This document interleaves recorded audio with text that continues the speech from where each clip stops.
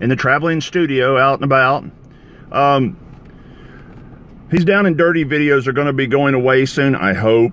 I um, am planning on setting up my camera at the house and start doing my movie reviews and my TV reviews and all that for my office. Um, but this video is going to be on the uh, first week of Arrowverse. Let's start with Batwoman. Batwoman was exactly what I was expecting it to be. It was telling the origin story of Cassandra Cain, how she became Batwoman, how her her lead villain, why she's after her, and all this stuff, and kind of gives you a full backstory of the character. You can see a lot of plot that they're going to be building on over the season. And honestly, I can say, in my own personal opinion, the cinematography looked really good for a TV show. Um, it's got a lot of that uh, Chris Nol or Nolan and um, Tim Burton feel to it with the old grungy type Batman or Bat person storyline.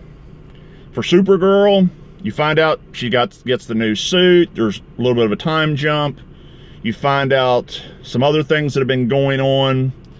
Supergirl is one of those shows where it's always going to be hard for them to do things that they really want to do because they don't have control of certain characters that they would need to make Supergirl more robust. I'll put it that way.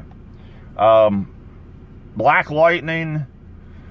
Black Lightning is Black Lightning. It's right back in its prime. It's doing starting up right where the last season ended with Markovians about to start a war for metahumans and all of the stuff that's going to be going down with that with that storyline from last season.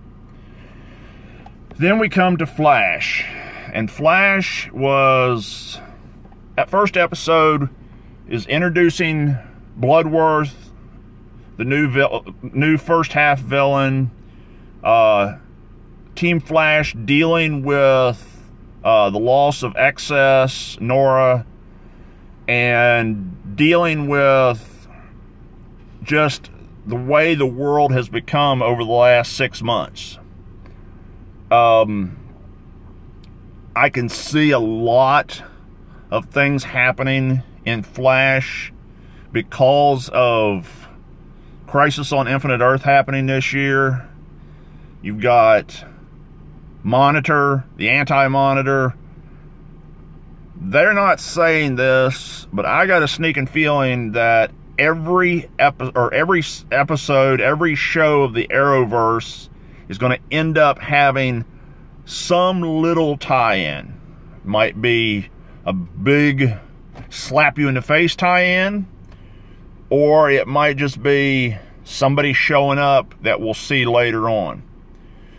You may meet characters that will show up now that you may not pay off until December.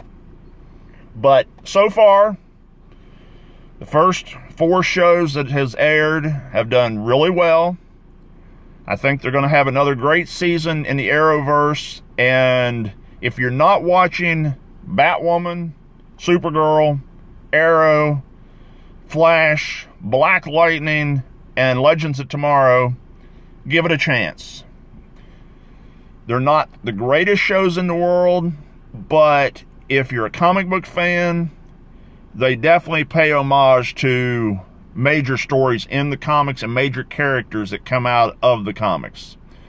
Hope y'all enjoyed this and uh, smack like, give me a thumbs up, and uh, if you have any questions, leave them in the comments section. And like I said, hopefully within the next week, I'll be posting some new stuff, new opener for my movie review, some other stuff that I'm going to be working on in my office here this week and next week. And um, I'll be posting some new stuff, and hopefully it'll start looking a little bit better and have better audio and everything. So just give me time, and we'll get it out there. Y'all have a good day. I'll see you when I see you.